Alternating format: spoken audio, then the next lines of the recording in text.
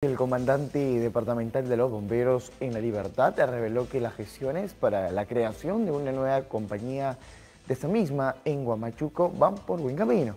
Se busca motivar a los jóvenes para que próximamente puedan formar parte de esta institución y ayudar a quienes más lo necesitan en momentos difíciles.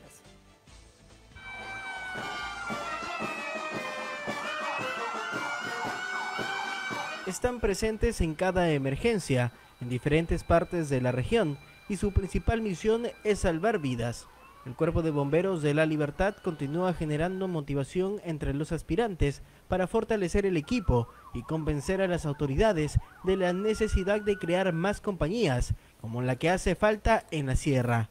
El comandante departamental Helki Gómez señaló que hay apoyo de las autoridades y las gestiones van por buen camino en Guamachuco. Estamos eh, finiquitando el tema del convenio marco para poder ser, para que sea rubricado por nuestro comandante general y a la vez intendente nacional con el señor alcalde y por fin, por fin, después de mucho tiempo, tener una compañía de bomberos en el Ande liberteño, que estamos a tres horas y media, cuatro horas de la, ciudad, de, la ciudad, de la ciudad costera, de la ciudad capital, y estamos a tres horas también de Cajamarca y todo el Ande. O sea, es un punto estratégico el contar con una compañía de bomberos en, en, esa zona. Para la autoridad del Cuerpo de Bomberos de la Libertad, la ubicación de la compañía en esta ciudad es clave, ya que ante algún accidente en carreteras o incendios de gran magnitud, podría actuarse en el menor tiempo posible. Significaría pensar en la gente, significaría solucionar problemas, significaría prevenir vidas, eh, toda vez que en esa zona nosotros sabemos que después de agosto siempre hay incendios forestales.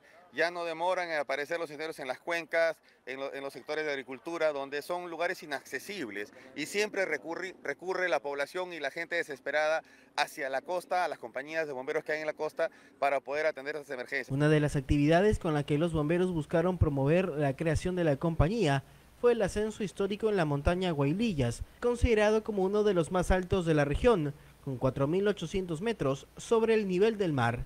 Para ello se emplearon equipos pesados para poner a prueba su destreza física y mental. Aunque con muchas necesidades, los bomberos siguen trabajando para asistir en momentos de emergencia.